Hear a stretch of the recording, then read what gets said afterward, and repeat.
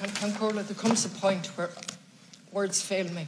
Minister, and you're in an extremely difficult position. Let me say openly, it is totally unacceptable that Minister Donnelly is not here. That you have had to read out this speech, which is absolute an insult to the women of Ireland, and I go that strong in relation to what I'm reading. That somebody would write a speech and the minister would read out that I would ask all members of the House to support the government in its continued commitment to women's health. Women's health I, I will try to remain calm in relation to this. This is the third motion in seven months. The government has accepted each motion. I'm not sure if the government is able to read or able to understand what these motions are asking for, maybe in different, somewhat nuanced way, that the new National Maternity Hospital is publicly owned, publicly operated on a site owned by the state crystal clear. If you agree to that, then we need a speech that's dealing with that. Minister, I don't personalise it. I've seen you work extremely hard along with your colleague, Mary Butler, and I've paid tribute to you on the. Well, in this case, to read out the speech, there comes a point in a minister's life where you say, this is simply not acceptable. So, our third motion, we have a choice here. It might be better if each of us stood in silence might for 10 minutes and when Sinn Féin do it. And it might be a more effective way to get through to the government in relation to the democratic process. Because all of the Dáil unanimously is saying, own the National Maternity Hospital, own the site. Now, for a minister not to show tonight and for a speech like that to be written in a week where we are focused on the tragic and unacceptable death of Ashling Murphy, and in that context, to have statements in here on how unequal women have been treated in our society. And each and every deputy has spoken, and I want to stay away from politicising. It was in the context of the debate here in relation to inequality. And no later than today, we had the legislation in relation to access to records. And once again, the final emerge, finally, slowly, and still not emerging from the patriarchy from the 52 Adoption Act that was closed and secretive to beginning to open up, to a national maternity hospital that's on the cards since 2008 with a KPG, a KPMG report, a 2013 announcement by Minister O'Reilly of the co-location. For a civil servant or somebody to write that and give us a lecture on the importance of co-location is insulting and unacceptable. This decision of co-location was accepted by everyone, all governments and all TDs from 2013 onwards. What is not accepted are the Byzantine Kafkaesque arrangements going on behind the scenes in relation to religious ethos. The nuns might be gone, but those doing their believing in their philosophy and Mary Aikenhead, and fair play to them. I have no problem with that as long as it's not being imposed on a public hospital. That's the difficulty. And so we go forward from 2013 when Minister O'Reilly announced it. And over that period up to today, we've had all sorts of suggestions, including that the nuns were gifting it to the people of Ireland, some gift, and then we had a 99-year lease, lease a, ni a 999-year lease, a 99-year lease, and now a 299-year lease. We talk about operating licenses. We talk about St Vincent's holding, the, the group, the health group, the holding group, the DRC. Byzantine doesn't cover it. So I'm going to try and stick with a simple message Minister, because I know where your heart is, but I'd like to know where your views are in relation to this and who's actually going to stand up and make language mean something. A national maternity hospital has to be owned by the state for the men and women of Ireland and future generations, full stop. There is no going back on that. We have had different, we've had four male ministers, and that's fine, except we have different messages from each of them in turn. We've had Minister Harris, can't remember what Mr. O'Reilly, Minister O'Reilly said. Minister Harris said that we would have a public hospital on a site that was leased. Minister Varadkar, who was Minister for Health at the time, said we would have a public hospital on a public site. And instead of going forward on that, we then have Minister Donnelly, who can't be here tonight, tell us he's going to, he's given us reassurances. I don't want reassurances as a female TD.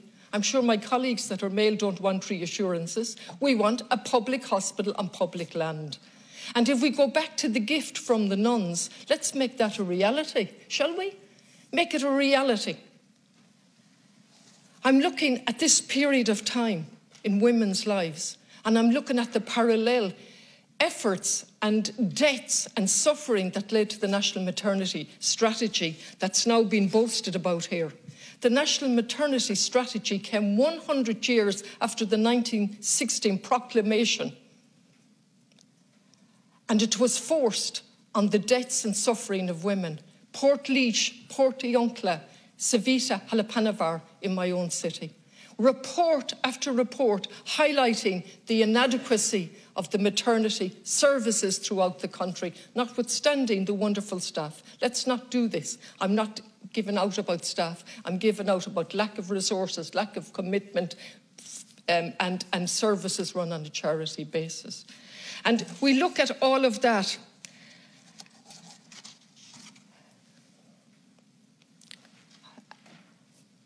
Uh, what have we achieved?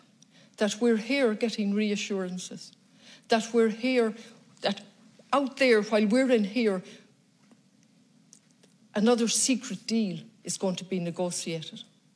Notwithstanding the overwhelming demand from people in Ireland, as demonstrated by the people who protested in Dublin, by the constant representations that we get, by the fantastic work from Dr. Boylan, Marie O'Connor, and many, many others, and Uplift, who paid and or organised a senior counsel's opinion.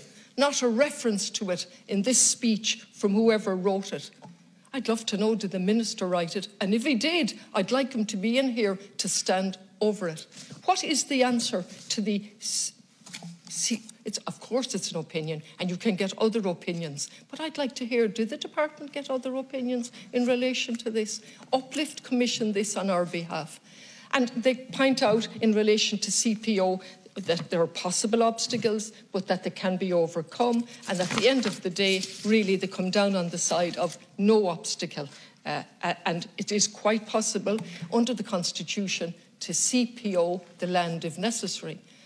The only thing that I've ever heard from the Taoiseach, uh, uh, Leo Varadkar, in relation to this is that it would delay the project unnecessarily. Well, I stand here tonight and I ask all the other uh, TDs here to confirm that we don't mind a delay. We don't want a delay. A delay is unacceptable. But if that is the strongest reason that the Taoiseach can come up with for not compulsory purchasing the site, then that's totally unacceptable. And I would say I would say a CPO puts it up to the entities that are out there. And they're worthy of a, a, a, mystery novel, really, at this stage, the amount of entities that are out there in relation to a, a public national maternity hospital. CPO is not necessary if they agree. Absolutely not necessary. And all we want is for the government of the day to listen to the overwhelming voices of people in the, in the Dáil on behalf of the people of Ireland who say enough is enough. We've said it in other contexts this week. We've said it in terms of gender violence and domestic violence. We've said it in terms of fundamental right for access to records without hurdles, without various steps from a patriarchal society or management that think they know best. Minister, you know enough is enough. A national maternity hospital. I'm going to finish by saying the maternity strategy 2016 is more than halfway through. We only got an implementation plan published just before Christmas, consequent on pressure within the Dáil for a motion that I put and other people put in relation to the implementation of the strategy. So when we stand and talk about a strategy, one has to say, how is it being implemented? HIQA did a report in 2020 on it They said it was slow progress or no progress, patchy progress. And the um, no, they didn't know who they were reporting to. Nobody knew who they were reporting to. This is the strategy that we're crowing about in this speech. So, conjura a curla ma cúpla focail, tá ma góhan agam, tá, tá haram bart a dhéanamh de réir ar mríthair, agus brí a chóirt de ocail agus de córas déon las. Ceachta. Gyfri Cullinane.